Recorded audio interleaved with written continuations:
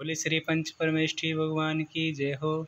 इह विधि मंगल आरत की जय। पंच परम पद भज सुख ली जय पहली आरत श्री जिन राजा, भव दधि पार उतार जिहाजा।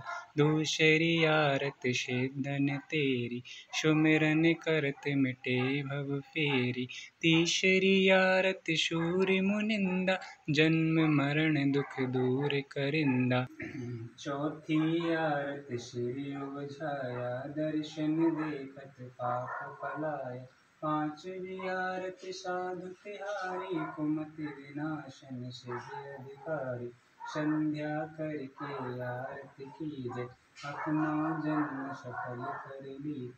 इह विधि मंगल आरत की जय पंच परम पद भज सुख ली जय बोले श्री पंच परमेष्ठी भगवान की जय।